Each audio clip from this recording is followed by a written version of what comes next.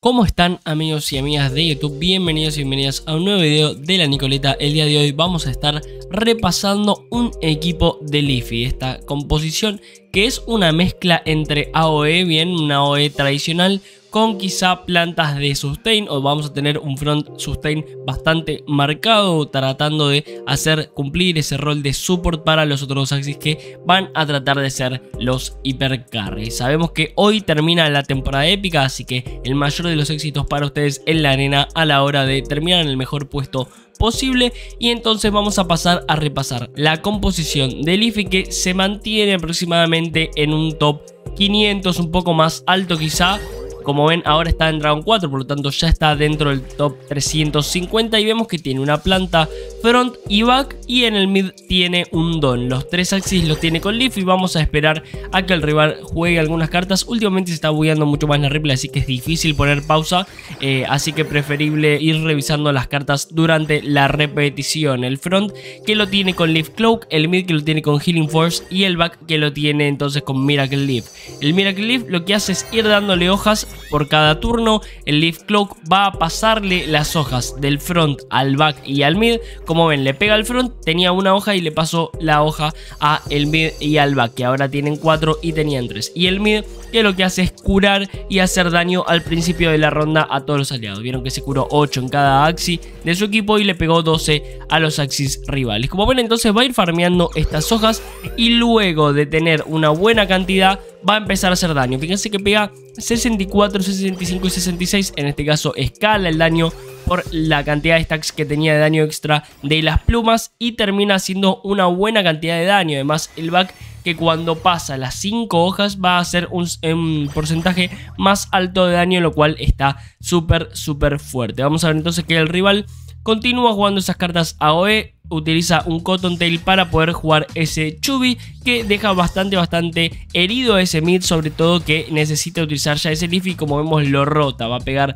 aproximadamente 160 de daño con ese Leafy juega el Trifler del back y tiene la posibilidad de utilizar entonces el Leafy del front que en realidad acá no va a utilizarlo sino que prefiere utilizar ese Gran Más Fan para hacerle un poco de daño a todos los enemigos. Pero ven que el front se cura, el back se cura y el mid se cura por esas hojas que puede llegar a tener y eso también le da un mayor sustain durante la partida. Además de que también lo va a estar curando con el Cotton Tail. En este caso había curado al back, el rival que ya tiene varias plumas para poder utilizar pero no le va a dar el daño para poder matar a ese front. Además esas hojas que va pasando a los otros axis vienen súper bien porque el back hace bastante daño extra Vamos a leer, hace 20% de daño extra cuando ya tiene 5 hojas. Y fíjense que ya tiene 9. Entonces el próximo Leaf y el próximo Windhorn van a hacer mucho, mucho daño del bug. Tiene la posibilidad de utilizar el Diffy, entonces del mid, deja muy muy low a ese front como a ese mid y utiliza el Windhorn del mid, guardándose entonces el Windhorn del back sabiendo que es el que más daño hace, va a terminar matando a ese front y fíjense cómo termina matando a esta combustión que realmente era complicada, un AOE muy bien armado en Tigre 1, pero todavía tiene los tres axis vivos y aunque el rival tenga el Windhorn junto con ese Cottontail y pueda llegar a matar dos axis, no hay manera de que pueda matar a ese back por el daño. Va a jugar entonces el Kiss terminando de matar a ese mid ahora con el Winghorn al utilizarlo antes que el Trifeder tiene la suerte de pegar todos los hits en el front, por lo tanto va a traer todas las plumas posible y con el Trifeder además le va a hacer el máximo daño posible a ese back pero como ven va a quedarse con bastante vida y va a terminar rematando a ese Dusk simplemente con el Winghorn. Entonces acá vemos una sinergia bastante interesante que es mucho daño con las cartas AOE junto con el Leafy, pero también esa posibilidad de aguantar más en la partida gracias a la curación que nos dan las hojas mientras nosotros no las gastemos con el Leafy, que el Leafy justamente va a consumir las hojas y cuanto más hojas consuma más daño va a hacer. Fíjense que ahí iba a ser 225 de daño aproximadamente con una carta coste 1, lo cual es una completa locura, obviamente es gracias a la runa también, pero vemos que la composición está fuerte y funciona y no muchos están teniendo en cuenta esta carta, sino que por dos razones en realidad. Una porque obviamente está mucho más brillada Irwing y segundo porque también es la carta común denominador de las composiciones AOE y se suele buscar esa carta que también hace muchísimo daño y es a todos los objetivos. Así que vamos a pasar a ver entonces una segunda repetición para ver también cómo se maneja contra otras composiciones enfrente. En este caso vamos a ver cómo funciona la composición contra el equipo de Puffy. Esta composición que sabemos que funciona muy bien, que ya la trajimos al canal también, que utiliza el doble Snake junto con ese doble Innocent Lamb, por lo tanto va a tener 4 Snake en la rotación y poniéndole charms de daño de nivel 2 al back, haciendo que tenga siempre debajo de los 300 puntos de vida e ir poniendo sus Snake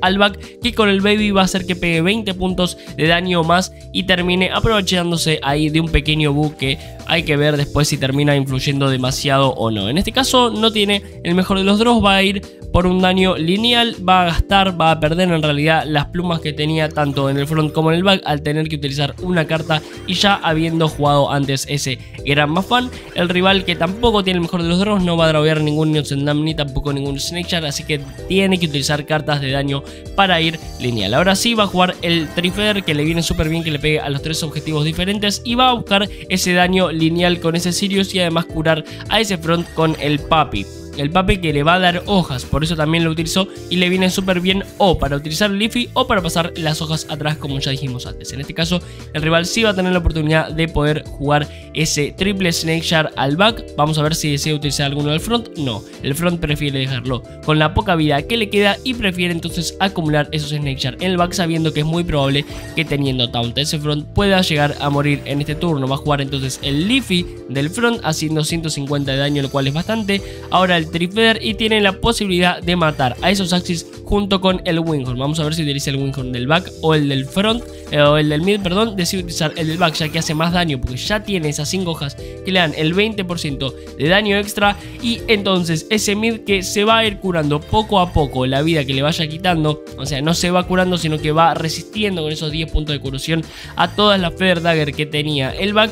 Y tiene que aguantar entonces esos 4 turnos que le quedan de Snake Shark para poder ganar la partida. En realidad tiene que aguantar dos el turno que se le viene del daño del rival y después el otro, lo cual vemos que está bastante complicado porque ya tiene el Winghorn del mid ya retenido y vamos a ver que va a draguear doble leaf, lo cual va a hacer mucho mucho daño. Primero desea utilizar ese papi en el front, ¿para qué? Para tener las hojas disponibles para poder utilizarlas y que haga mucho más daño. Y ahora fíjense el daño brutal que se hace ese Leafy, 225 puntos de daño, un poquito más que termina matando al back porque le pegó los 3 hits y termina denegando una de las composiciones más fuertes hoy en día del meta composición ultra top que está peleando en los primeros puestos del ranking y la termina derritiendo como si nada, gente. Así que hasta acá la composición de Leafy, que como les digo, no es una composición que se suele ver mucho porque Irwin es la oreja predilecta en las composiciones de AOE, pero vemos que puede llegar a tener un buen funcionamiento tanto con las runas correctas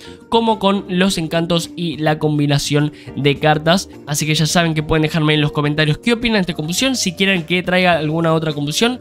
Hay muchas composiciones que tengo guardadas, composición guardada de veneno, otra composición guardada de navaga y también mi composición para ver cómo terminé en la era. Entonces van a ver videos estos días cuando ya haya comenzado la era mística de la era épica todavía porque hay varias cosas que no llegué a poner pero que son realmente interesantes creo yo y que les va a gustar verlas. Así que en los comentarios pueden dejar cualquier sugerencia. Ya saben que a mí me ayuda muchísimo y que es gratis que dejen su me gusta y que se suscriban y nos vemos en un próximo video. Chau chau